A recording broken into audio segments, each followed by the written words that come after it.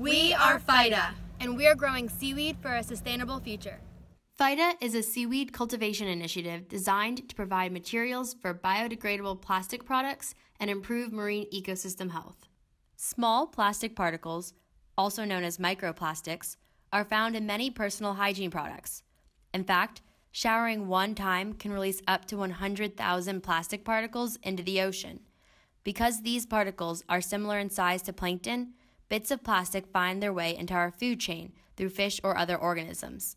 Plastic consumption causes a number of harmful effects to human health, ranging from cancers to birth defects. To address these issues, Phyta has created a provisionally patented ocean farm structure that provides seaweed for biodegradable plastics.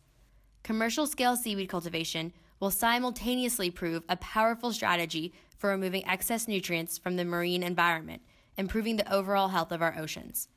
Finally, because seaweed is five times more effective at removing carbon than any land based plant, our initiative will begin to mitigate the increasingly visible effects of climate change.